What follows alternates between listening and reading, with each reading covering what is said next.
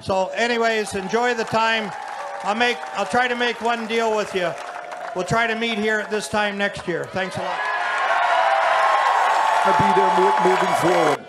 And all I say is, let's do this again next year.